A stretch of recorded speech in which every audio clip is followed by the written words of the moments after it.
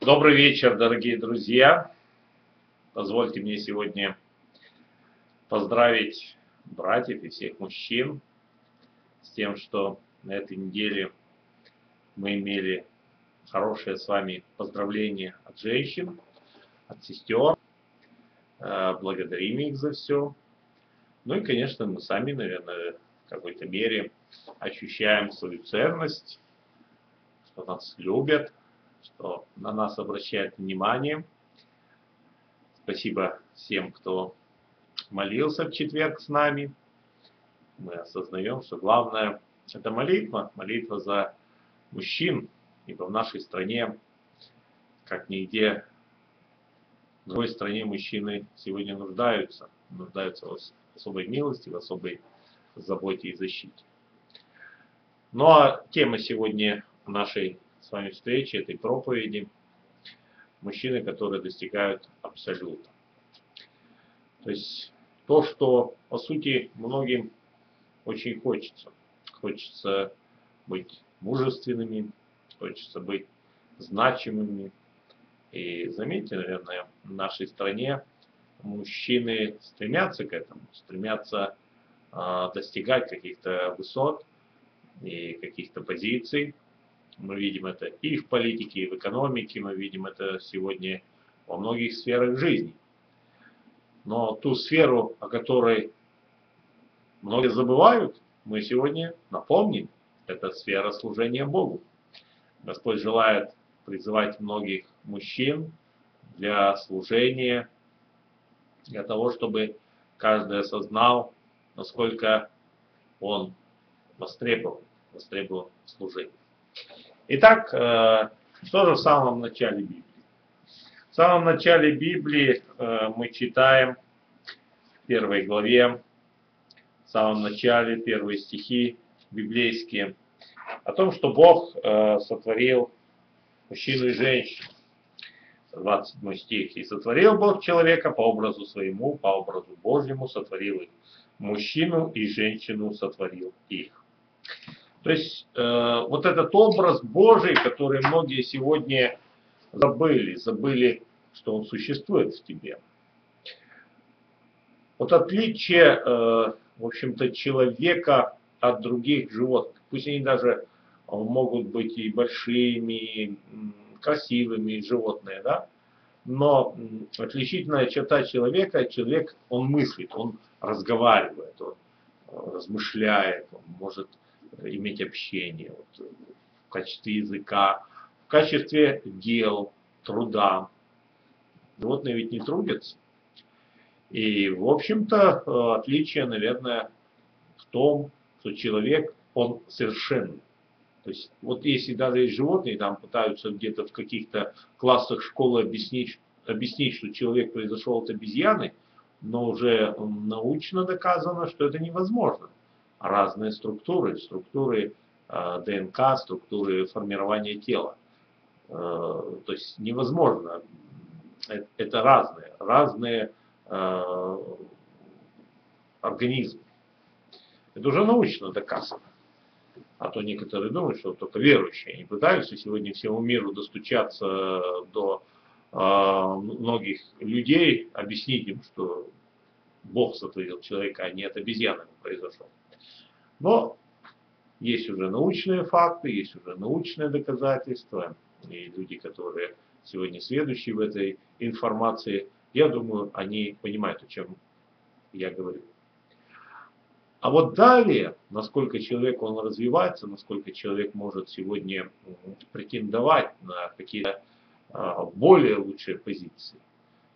И человек одно, одного, то, что он творение Божие сегодня как бы не достает человек, говорит, ну, Бог сотворил меня.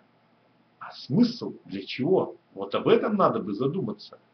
Для чего же Бог сотворил человека? Но изначально мы читаем в Библии о том, что Бог сотворил для того, чтобы человек ухаживал за Эдемским садом, общался с Богом, но в дальнейшем через э, грехопадение мы видим, э, ну, смысл жизни человека несколько изменился, несколько изменился он стал более греховным, он стал более э, зависимым от Земли, от вот данной планеты, которая сегодня, по сути, вымирает, и мы видим вот эти все события, которые происходят.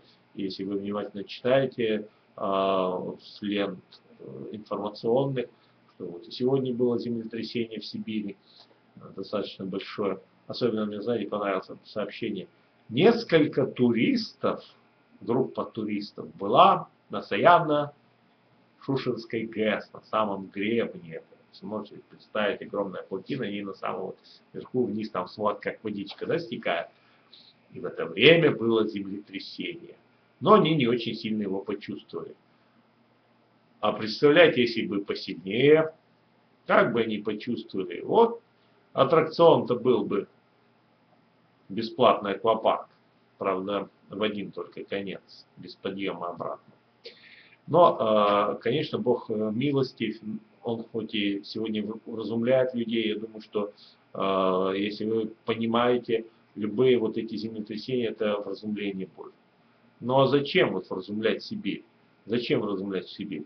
Если вы немножко посмотрите наши прошлые молитвенные собрания, вы услышите там одно из Божьих таких э, требований, что вот эта часть Сибирь, Сибирь нашей страны часть, она э, не поклоняется Христу. Не поклоняется. Там очень мало христиан, то есть практически их нет.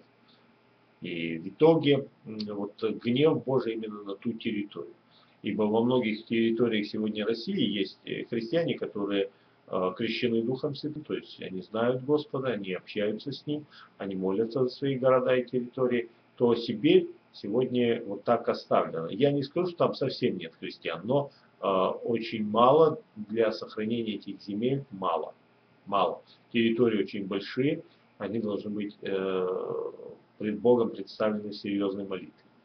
И в этом отношении конечно же, братья и сестры, кто сегодня есть э, на Дальнем Востоке, в Сибири, э, в этих всех частях э, нашей страны, надо обратить внимание на евангелизацию, на служение, на то, чтобы церкви там были.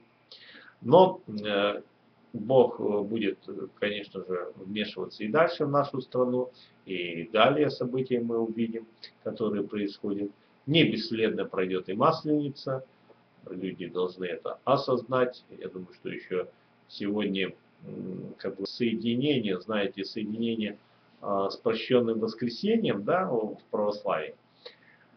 А, тоже удивительно, наверное, слышали и читали в интернете о том, что несколько девиц, одевших маски, а, заскочили на алтарь, включили там рок-музыку в храме Христа в Москве и бесновались с матом, с криками выкрикивая оскорбления в адрес верующих и священнослужителей. А, и никто их не смог поймать. Убежали. Убежали, скрылись. И, как сегодня пишут э, средства массовой информации, заведено уголовное дело. То есть прощенное воскресенье не подействовало. Не простили. А, они думали, что прощенное воскресенье это делать чего хочешь и простят, что ли? Да сейчас. Это ширма это так называется прощенное воскресенье. Это такой э, позиционный момент. Они думали, это на самом деле их простят, что ли, да сейчас. Догонят и еще посадят, не переживайте, они вас найдут. Э, прощенное воскресенье это так, одно название. Прощать никто никого не собирается там. И вот в этом отношении действительно очень обидно бывает, что люди даже вот в этой религиозности нисколько не понимают, что прощать-то ведь надо.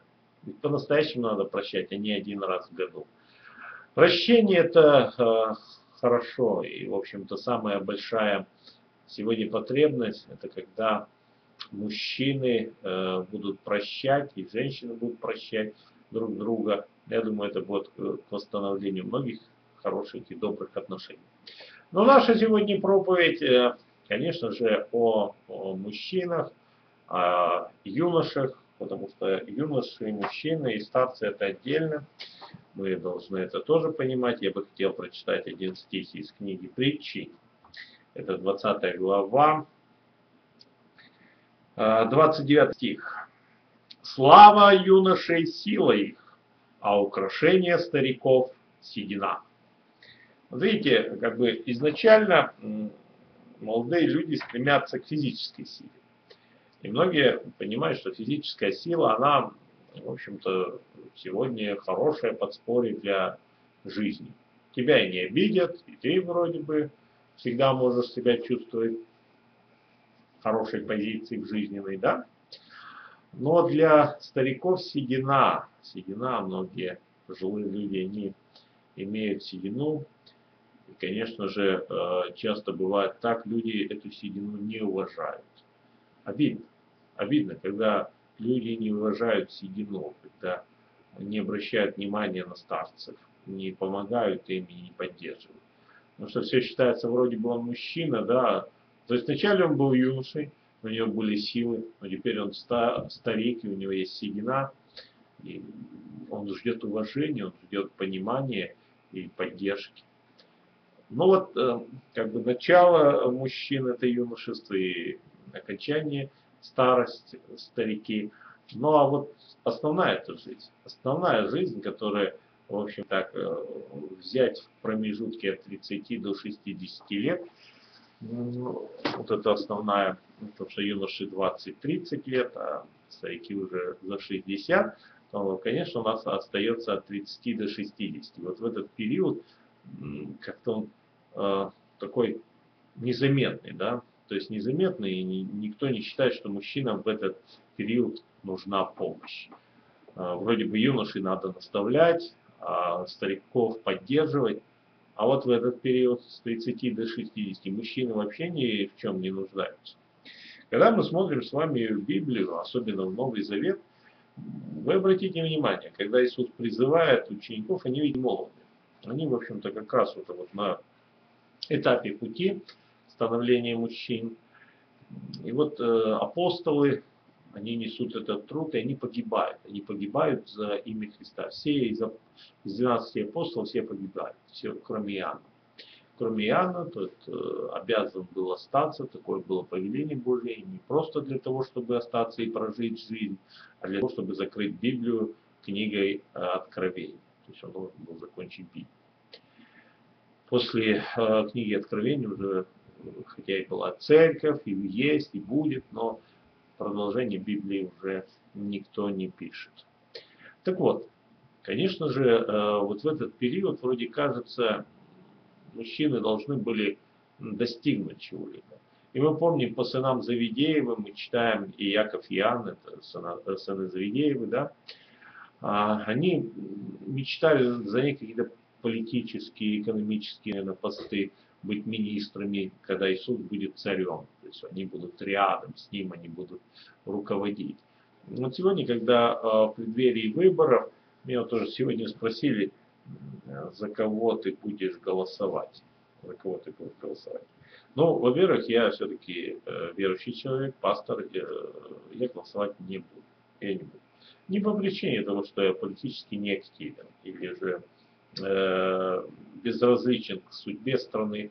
Нет, я просто, э, знаете, не могу подписаться под, не под одним человеком. То есть я не могу ни за одного человека ручаться. Почему? Потому что никто из вот этих э, претендентов на высшую должность страны не заявил самое главное, что я бы хотел услышать для себя. То есть они проигнорировали большую часть населения. Они не заявили своей вере в Бога они не заявили о том, что они хотели бы, чтобы верующие молились. Вот если бы кто-то из них сказал, верующие молитесь, я хочу, чтобы вы молились за меня, э, я думаю, я бы этого человека поддержал. Но если ни один из э, претендентов не заявляет о том, что ему нужна моя молитва, а Слово Божье определяет, заметьте, смотрите, Слово Божье как определяет нам? Что э, я должен молиться за руководителя страны. То есть, ну, тут представлен как царь, молитесь за э, царей, э, за начальствующих. То есть, э, я должен молиться, это мое служение пред Господом, я, э, любой, не только я, как пастор, а любой верующий человек должен это совершать. Но и в итоге получается что? В итоге получается, что э, я это буду продолжать молиться, независимо, просят меня об этом или нет, но вопрос в другом. Вопрос в том, а, для чего мы молимся. В Слове определено, мы молимся за власть не для того, чтобы быть подхалимами или там поддерживать эту власть. Мы не политизированы и не собираемся участвовать в этом.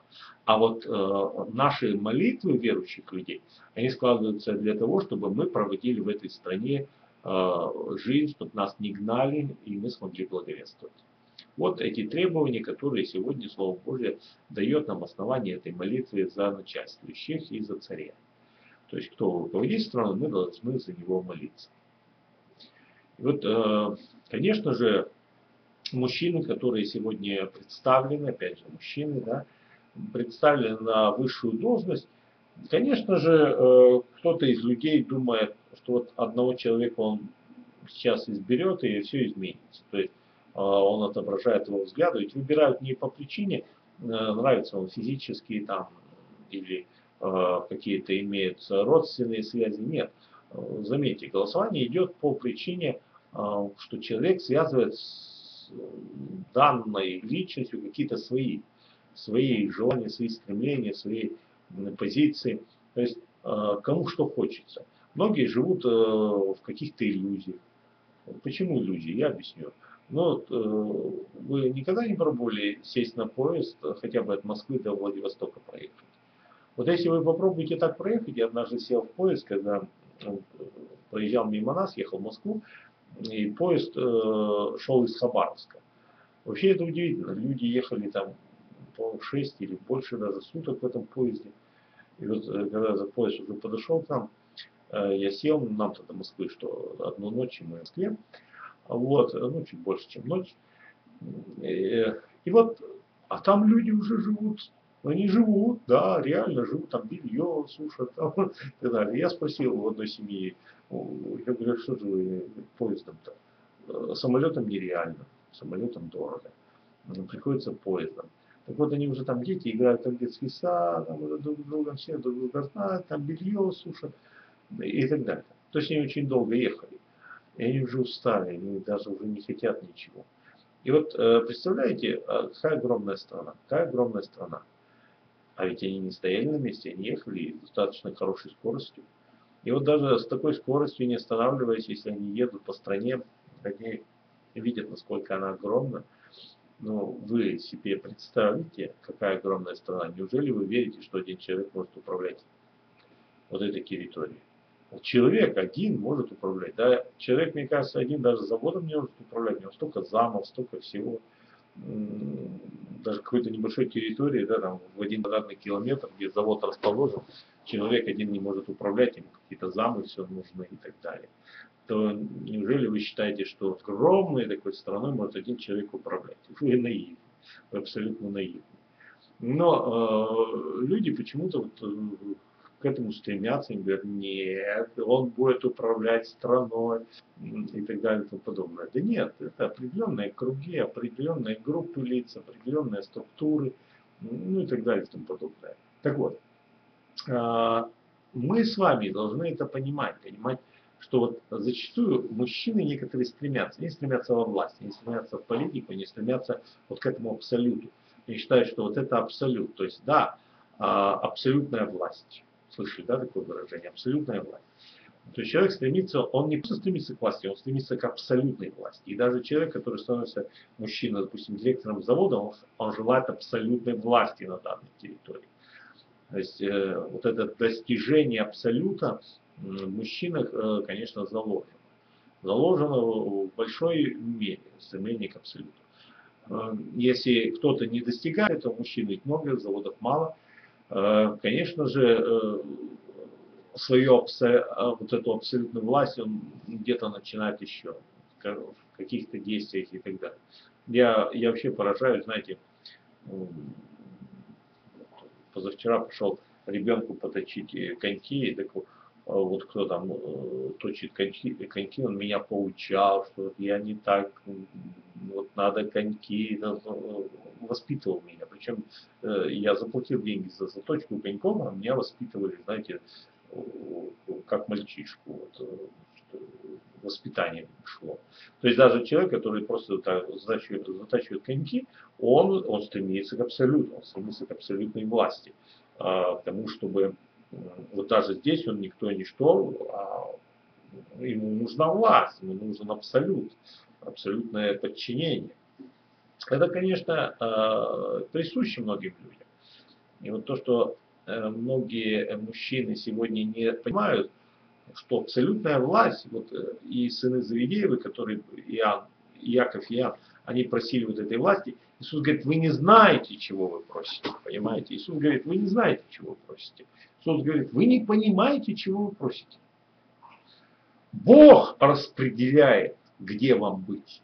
Понимаете, вот, вот главный ответ, Бог распределяет, где вам быть. Вы немножко задумайтесь, вот Бог распределяет, где вам быть. Вы где будете? Если вы не знаете Бога, если вы не подчиняетесь Богу, будете с Богом, правильно? Это, по-моему, любому понятно. Но если вы подчиняетесь Богу, соответственно, вы и имеете определенное место, определенное а, действие на всю вашу вечность. А то, что люди сегодня втягиваются в политику, и мне вообще парадоксально – мужчины сегодня, приходя в свои дома, они там говорят, вот я точно знаю, за этого голосовать, нет, вот этот, и так далее. Опять вот это проявление вот абсолют, абсолютной власти, подчиненности, знания, они, в общем-то, э, кажутся человеку правильными. Правильно. То есть стремление к абсолюту у него э, выработано правильно. И жен уже говорит, ой, за кого хочешь там голосуй там или что хочешь делать. То есть многие жены даже как бы, знаете, не обращают внимания. А даже молодежь, которая подрастает, эти молодое поколение, да, юноши, они подрастают, а им тоже хочется, они скорее, когда там выборы, я тоже проявлю. Если раньше молодежь, ну, загоняли на выборы, сейчас они, мы проявим вот за этого, мы вот за того, он нам нравится, то есть абсолютно. Вот стремление. Особенно если человек говорит, я миллиардер, за мной там деньги там и так далее. Да фантики за ним, какие деньги, вы что? Деньги э, вообще не, это все бумажки напечатаны. А человек говорит, о нет, там у него миллиард. Да фантиков миллиард, он реально-то ничего не имеет. Вот реально человек ничего не имеет. А завод у него могут отобрать в любой момент. Понимаете, вот в нашей вот, завод берут все, а фантики, ну куда он с ними? Ну тут же арестуют, отберут. Вот. То есть, э, по сути своей, вот это стремление к абсолюту, к желанию властвовать, желанию э, проявить себя на земле, у многих мужчин и юношей уже сейчас оно присутствует. И поэтому Слово Божие говорит, подчинитесь Господу, подчинитесь, вы поймете, что вот абсолютная жизнь, абсолютная власть, она от Бога. И власть не та, которую вы сегодня себе э, представляете. Ну вот давайте, сейчас молодежь, которая нас слушает, и э, мужчины, которые могут нас услышать, допустим, вот абсолютную власть вы где можете достичь? Вот себя вот сейчас спросите, э, чем я могу управлять? Чем я могу управлять? А, вот я в своей жизни, когда еще работал, да, а, я управлял, у меня было подчинение порой до 300 человек. То есть 1000 человек можно было им управлять. Вот. Но я понимаю, что пределы существуют для каждого человека. Для каждого человека существуют какие-то пределы. И вот если вы сегодня управлять можете Сколько человек? Как вы можете себе представить? Себя в управлении. И вот э, если вы э, сегодня это поймете, поймете, что Бог вот, вас призвал для большего, Он не для меньшего вас призвал. То есть сколько сегодня вот э, возможностей у человека? Максимум в нашей стране, да, вот на максимум в нашей стране управление сколько? Одной частью земли, одной шестой частью земли, да, суши, одной частью шестой суши с населением 140 миллионов. Что сегодня можно здесь, в этой стране получить. Так? Так. Теперь смотрите. В будущем Господь приготовил для тебя целую планету. Целую планету, населенную какими-то существами, которые будут видеть тебя царем, целой огромной планетой, в управлении, в великой власти Божией, прославляя Иисуса Христа как Творца, ты управляешь целыми народами. Представляешь? Вот это Ты можешь себе представить, насколько Бог приготовил для тех, кто последует за ним. А те, кто этим пренебрегает сегодня, конечно же, они говорят, ну, что вы придумываете. Я вчера поздно шел и, знаете, подняв свой взор на темное небо, я увидел звезды. Я осознаю, что мы не видим всего. Мы не видим всего, насколько огромная Вселенная. Мы не видим, мы не осознаем. Мы слишком привыкли, э, наши глаза, вот наша шея, она привыкла смотреть вот, вот так, вот, вот, в этом направлении. Мы не привыкли вот так вот. Э, наша шея вот к этому не привыкла, такой вот позиции нашей головы. А ведь подразумевает, что мы должны задумываться, задумываться о небе, задумываться о том, что там ждет. Пусть, может быть, сегодня, кто слушает эту проповедь, появятся какие-то скептики, которые скажут, ой, эти все верующие, там да, закопают, ничего не будет после этого. Вот пойми, ты как-то себя очень ограничил тем, что тебя закопают. И больше ничего не будет. Да, еще, вот, кстати, появилась новомодная что вроде бы у нас есть возможности, уже возят людей в крематорий.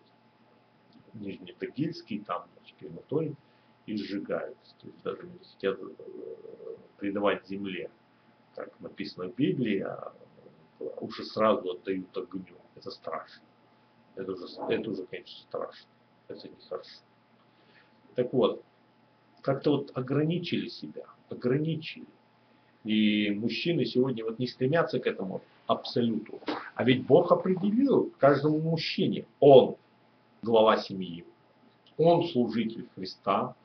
Он сегодня предназначен для будущего. Бог это определил. Почему мужчины сегодня э, пренебрегли этим? Почему сегодня Слово Божье стало э, не востребовано? И не востребовано кем? Кто читает проповеди? Мужчины. Написано, жены в церквях молчат. То есть должны говорить мужчины. Мужчины должны говорить, что здесь написано, доносить до всех, для своей семьи, для других людей, что здесь написано. Это максимум. Это то, что сегодня должно быть в полноте. То есть чему абсолютная правда, абсолютная истина, абсолютная жизнь, вечная жизнь. К этому должно быть стремление мужчин. Я очень рад, что я пришел к этому, что у меня это есть сердце, это в моем стремлении, в моей жизни. А если кто-то не приходит к этому, если кто-то по-прежнему считает, что абсолютная власть это деньги, и это надо сумасшедшим верить, что бумажка есть деньги. Это, это ненормально, понимаете? Это абсолютно ненормально. Я приведу пример. У нас э, в свое время был один из э, экстрасенсов такой известный. А, и, значит, он хвалился, знаете чем? Он хвалился тем, что он, у него есть такой номер, он дает человеку бумагу, обычную, обычную бумагу. И говорит, вот вам, и называет купюру крупную. И этот человек берет эту бумагу, так, им так вот карман там прячет. Я видел этот номер там. Это, конечно, очень жестоко. Очень жестоко. Но это ведь действительно правда.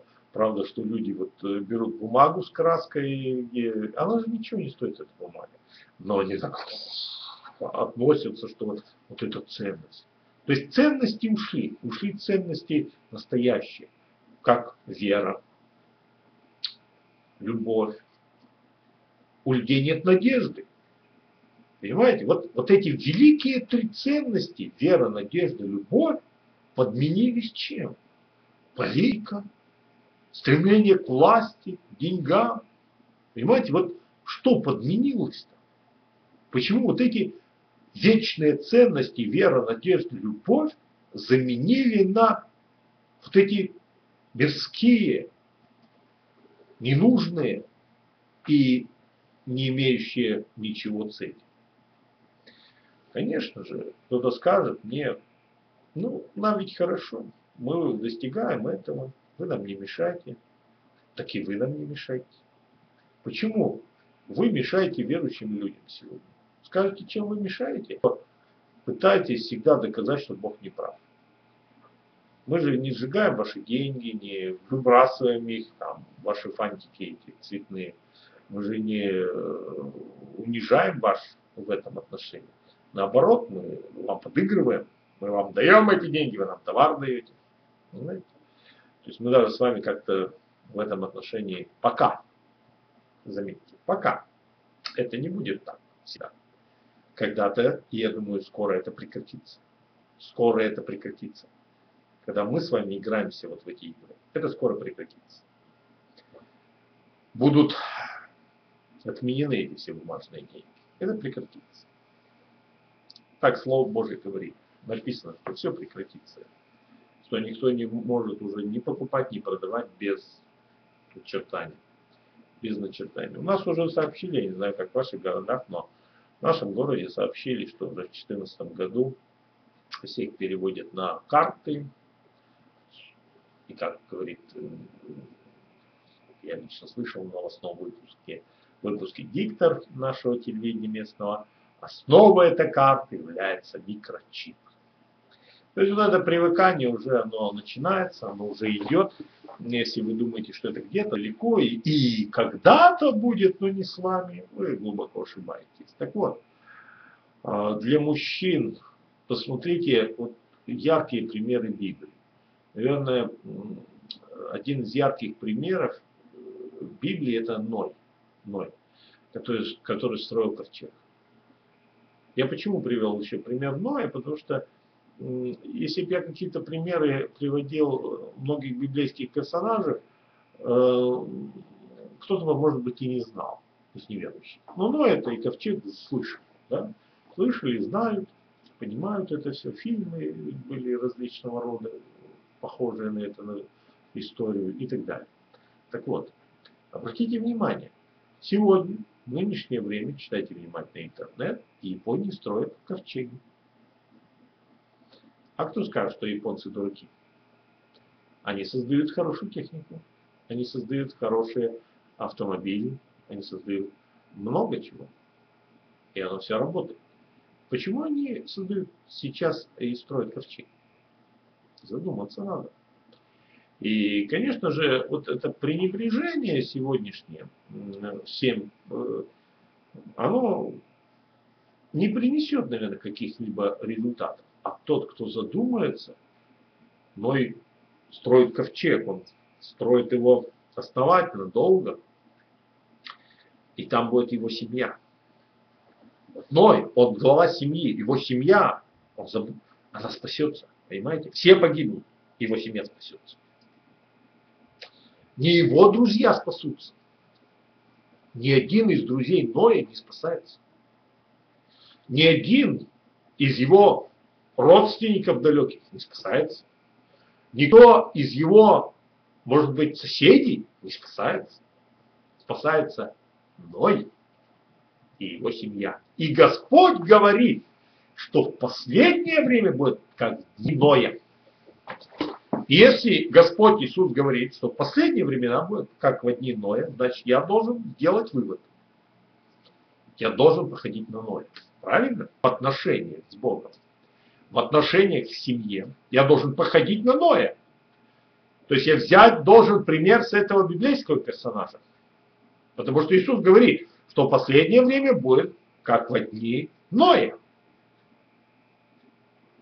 И он приводит пример, что в это время, Господь продолжает, все женились, занимались своими делами, покупали, продавали, и никто не задумался, что придет потоп, и потоп на них пришел. Так вот, сегодня люди суетятся, как я сказал, вот этот абсолют, к чему они стремятся. Абсолютное счастье в семье, абсолютный успех на работе, абсолютная власть, абсолютные финансы и так далее. Мужчины юноши, вы поставили для себя те цели, которые не вечны. Но для своей семьи поставил главную цель – спасение. Спасение. Спасение семьи. И она осуществилась. Все, что Бог ему дал, все он выполнил. Почему же сегодня нельзя довериться Господу? Наверное, в абсолюте мужчины говорят, это не для нас. Вера для женщин. Вряд ли вы сможете оправдаться этим.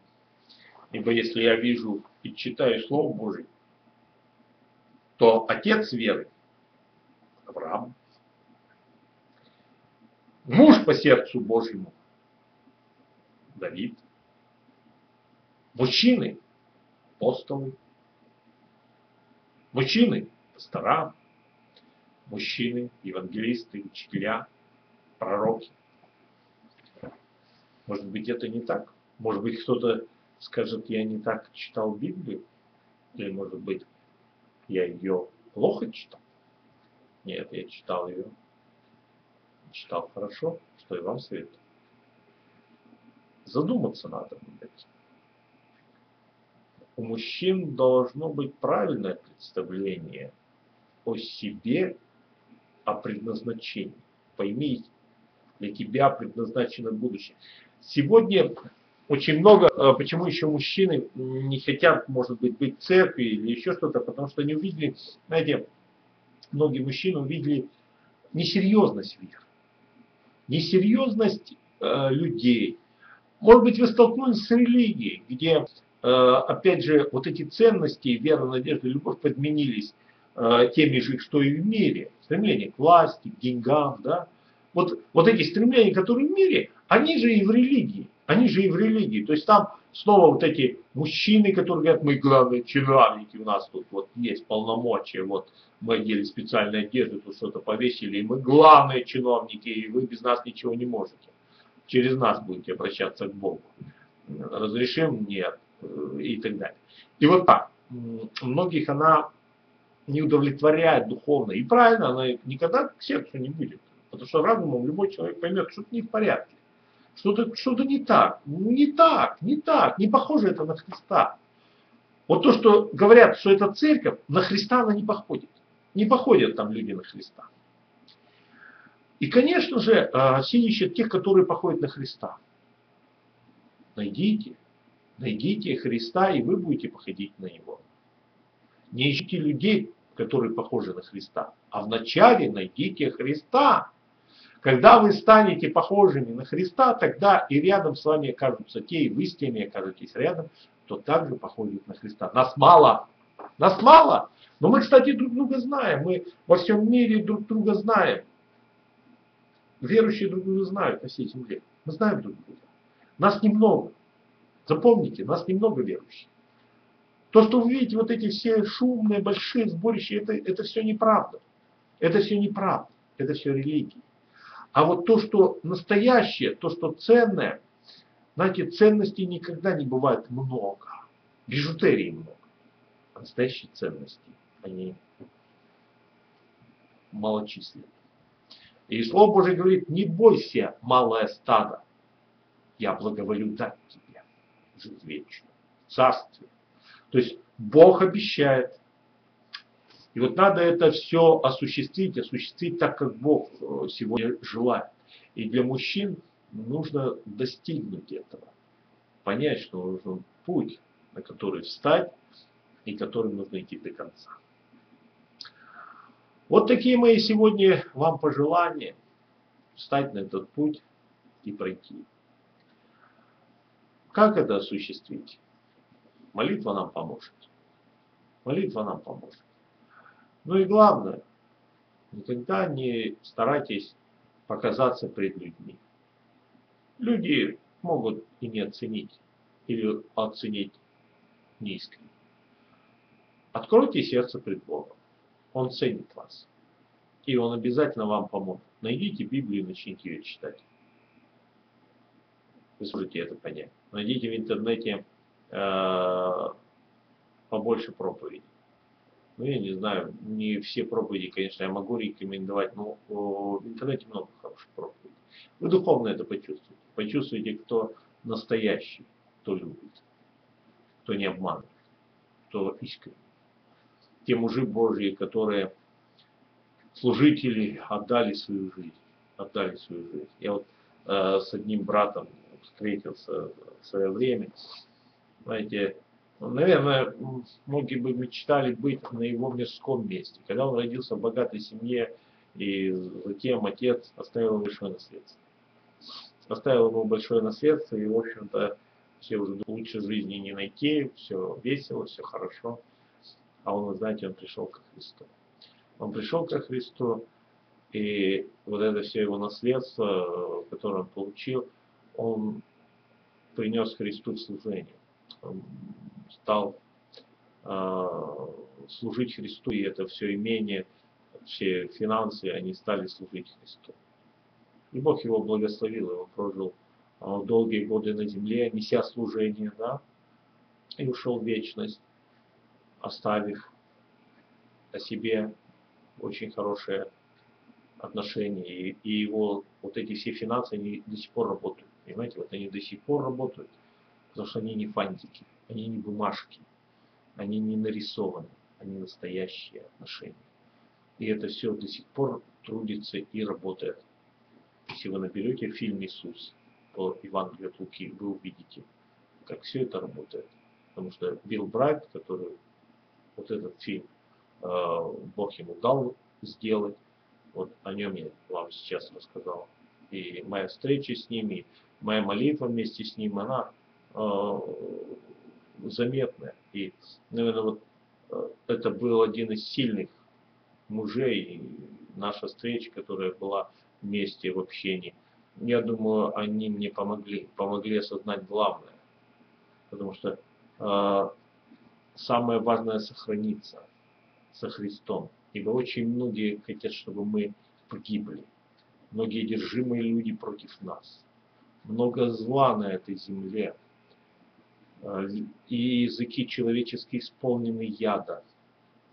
Они сквернословят, они злословят нас. Нам очень трудно удержаться.